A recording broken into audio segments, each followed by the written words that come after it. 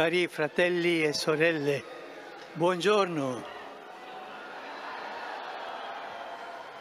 Il Vangelo oggi ci offre la parabola del grano e della zizzania. Un agricoltore che ha sparso del buon seme nel suo campo scopre che un nemico di notte vi ha seminato zizzania, una pianta dall'aspetto molto simile al grano, ma una pianta infestante. In questo modo Gesù parla del nostro mondo, che in effetti è come un grande campo dove Dio semina grano e il maligno si zagna e perciò crescono insieme, bene e male. Il bene e il male crescono insieme. Lo vediamo dalle cronache, nella società e anche in famiglia e anche nella Chiesa. E quando assieme al buon grano scorgiamo erbe cattive, ci viene voglia di strapparle via subito, di fare piazza pulita subito. Ma il Signore oggi ci, avete, ci avverte che è una tentazione fare questo. Non si può creare un mondo perfetto e non si può fare il bene distruggendo sbrigativamente ciò che non va perché questo sortisce effetti peggiori.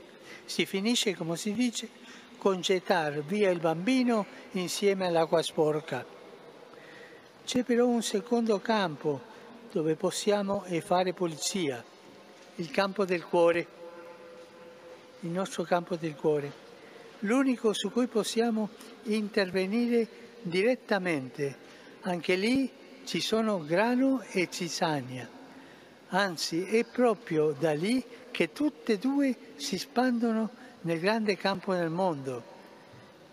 Fratelli e sorelle, il nostro cuore, infatti, è il campo della libertà. Non è un laboratorio assettico, ma uno spazio aperto e perciò vulnerabile. Per coltivarlo come si deve bisogna da una parte prendersi cura con costanza dei delicati germogli del bene dall'altra individuare e sradicare le piante infestanti nel momento giusto. Allora guardiamoci dentro ed esaminiamo un po' che succede, cosa sta crescendo in me, cosa cresce in me di bene e di male. C'è un bel metodo per farlo, quello che si chiama l'esame di coscienza, che è vedere cosa è successo oggi nella mia vita, cosa ha colpito il mio cuore e quale decisione io ho preso. E questo serve proprio a verificare alla luce di Dio dove ci sono le erbe cattive e dove è il, semine, il seminare buono. Dopo il campo del mondo e il campo del cuore c'è un terzo campo. Lo possiamo chiamare, chiamare il campo del vicino sono le persone che frequentiamo, frequentiamo ogni giorno e che spesso giudichiamo. Come ci è facile riconoscere la loro zizzania e quanto è difficile invece saper vedere il buon grano che cresce. Come ci piace spelare le altre, come ci piace. Ricordiamoci però che se vogliamo coltivare il campo della vita è importante ricercare innanzitutto l'opera di Dio, imparare a vedere negli altri, nel mondo e in se stessi la bellezza di quanto il Signore ha seminato, il grano baciato col sole con le sue spighe dorate. Fratelli e sorelle, chiediamo la grazia di saperlo scorgere in noi, ma anche negli altri, cominciando da chi ci sta vicino non è uno sguardo ingenuo, è uno sguardo credente, perché Dio, agricoltore del grande campo del mondo, ama vedere il bene e farlo crescere fino a fare della mietitura una festa. Allora anche oggi possiamo porci alcune domande. Pensando al campo del mondo, io so vincere la tentazione di fare di ogni erba un fascio? Di fare piazza pulita degli altri con i miei giudizi? Poi, pensando al campo del cuore, sono onesto nel ricercare in me le piante cattive e deciso di gettarle nel fuoco della misericordia di Dio? E pensando al campo del vicino, ho la sapienza di vedere ciò che è buono e senza scoraggiarmi per il limite e le lentezze altrui, la Vergine Maria ci aiuti a coltivare con pazienza ciò che il Signore semina nel campo della vita, nel mio campo, in quello del vicino, il campo di tutti. Angelus Domini Nunciavit Mariae. Et concepit de Spiritu Santo. Ave Maria, grazia plena, Dominus tecum, benedicta tui mulieribus, et benedictus fructus ventris tui, Iesus. Santa Maria, Mater Dei, ora pro nobis peccatoribus, nunc et in hora mortis nostre. Amen. Ecce ancilla Domini. Fiat mi secundum verbum tuum. Ave Maria, gratia plena, Dominus tecum, benedicta tui mulieribus et benedictus fructus ventris tui, Iesus. Santa Maria, Mater Dei, ora pro nobis peccatoribus, nunc et in hora mortis nostri. Amen. Et verbum caro factum est. Et habitavit in nobis. Ave Maria, gratia plena, Dominus tecum, benedicta tui mulieribus, et benedictus fructus ventris tui, Iesus. Santa Maria, Mater Dei, ora pro nobis peccatoribus, nunc et in hora mortis nostri. Amen. Ora pro nobis, Santa Dei Genitrix. Udini efficiamur promissionibus Christi. Gratiam Tua, in questo Domine, mentibus nostris infunt, ut angelo nunziante Christi Fili Tui incarnazione conio, per passione meius et crucem, a resurrezione gloriam perducamur, per Christum Dominum nostrum. Amen. Gloria Patri et Filio et Spiritui Sancto. Sicut erat in principio et nunc et semper et in saecula saeculorum. Amen. Gloria Patri et Filio et Spiritui Sancto. Sicut erat in principio et nunc et semper et in saecula saeculorum. Amen. Gloria Patri et Filio et Spiritui Sancto. Sicut erat in principio et nunc et semper et in saecula saeculorum. Amen. pro fidelibus defuntis, requiem aeternam dona eis Domine. Et lux perpetua luce a Deis. Requiescant in pace. Amen. Sit nomen Domini benedictum. Ex hoc nunc et usque in saeculum. Aiutorium nostrum in nomine Domini. Qui feci celum et terram. Benedicat vos omnipotent Deus, Pater et Filius et Spiritus Sanctus. Amen. Amen.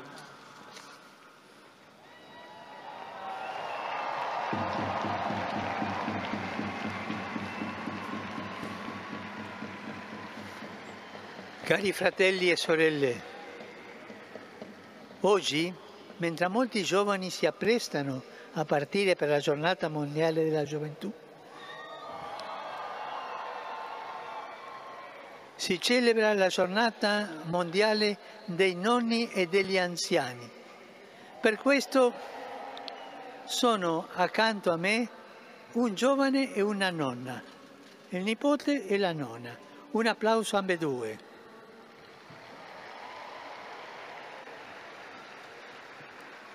La vicinanza tra le due congregazioni, le due giornate, sia l'invito a promuovere un'alleanza tra le generazioni di cui c'è tanto bisogno, perché il futuro si costruisce insieme, nella condivisione di esperienze e nella cura reciproca tra i giovani e gli anziani. Non, dimentichiamoci di loro e facciamo un applauso a tutti i nonni e a tutte le nonne. Forte!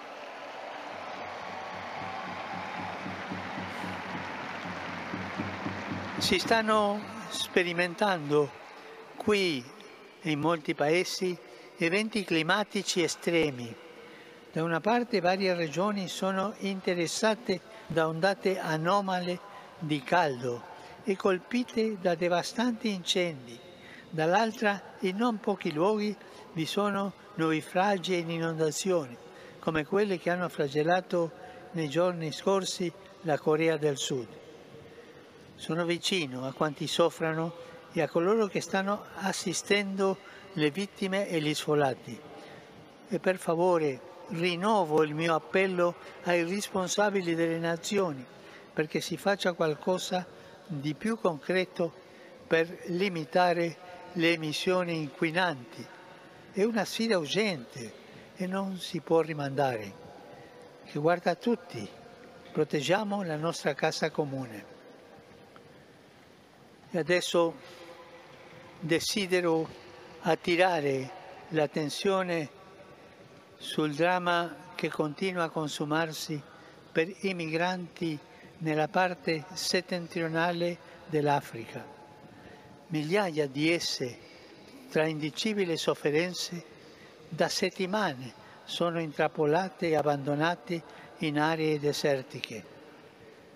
Rivolgo il mio appello in particolare ai capi di Stato e di governo europei ed africani, affinché si presti urgente soccorso e assistenza a questi fratelli e sorelle.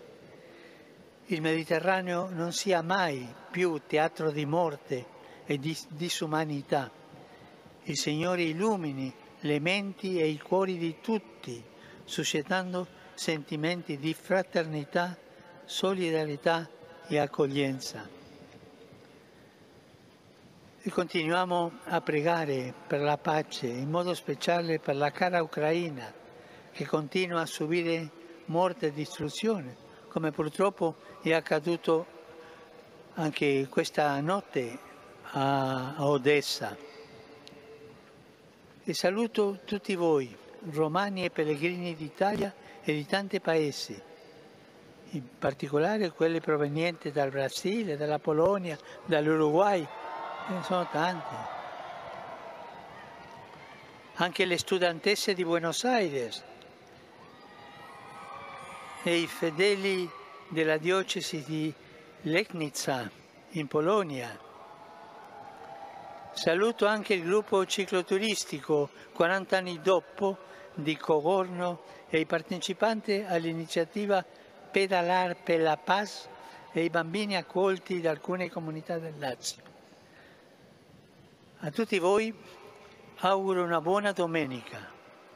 Per favore non dimenticatevi di pregare per me e anche preghiamo per questa nonna e questo nipote e con tutti i nonni e con i nipoti. Buon pranzo e arrivederci.